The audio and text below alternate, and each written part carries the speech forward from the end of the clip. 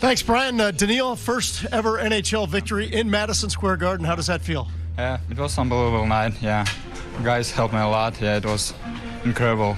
Take us through your night, especially the second period. You saw a lot of shots, and you seemed to be very calm in net tonight. Yeah, it was a really hard time, yeah, for us, but we did really good PK at this time, so it's a huge moment in the game, I think. Daniil, you seem to be very cool and calm in the net. How does that help you uh, win hockey games? Help you be successful? Uh, you know, you just focus on the game. Doesn't matter what kind of score, like how many shots. You just focus in, in a, each every shot. Yeah. Do the people back in Novokuznetsk know about Madison Square Garden? Yeah, I don't know. I don't really.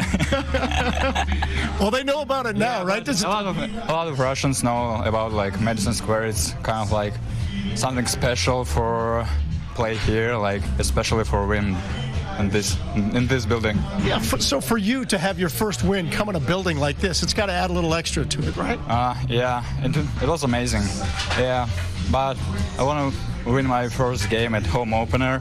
Yeah, for sure. Like beat the Vasilevsky because we grown up at same city, so it will be better. Right. But it, I'm really happy for win at Madison Square Garden. What was the celebration like with your teammates there in the dressing room?